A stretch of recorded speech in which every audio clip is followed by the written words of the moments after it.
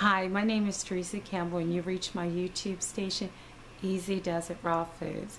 Today is day 72 of a 365 day raw food challenge for me and I am so excited. Um, today I didn't do any fresh juices but I did go out and buy some juices. I had um, company come in from out of town. My first cousin came to visit me today and I'm so excited. Um, we, I'm, I'm really excited about the fact that I'm on day 72. And one of the things my cousin had mentioned to me, she said, well, Teresa, you should go get some blood work done because this diet that you're doing is so extreme. No cooked food at all. It is kind of extreme. And I admit that the raw food diet is extreme.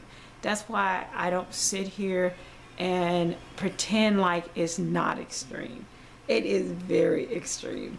And a lot of people um, think it's a little weird, it's unhealthy, but it's very healthy because the way we eat and the diet that most of us are on is causing us so many health challenges. So I agree with her. I probably should go get a physical and a checkup and get my blood work done. And actually, I am going to do that um, just to see where I'm at because I could have like a vitamin B12 deficiency. Who knows?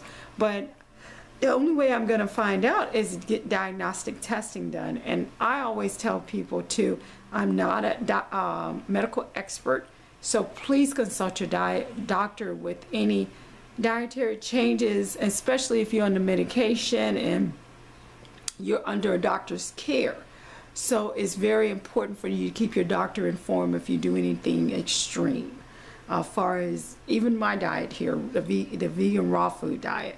So just, you know, be cognitive of the fact that this is a little extreme and um, you really probably do need to talk to someone that is an expert, which I am not. And I myself am going to get me a physical and checkup and blood work and all that good stuff. And I, am going to post it on YouTube. I love it. And I just want to sign out for now. Thank you all for tuning in to my YouTube channel, Easy Does It Raw Foods. And bye for now.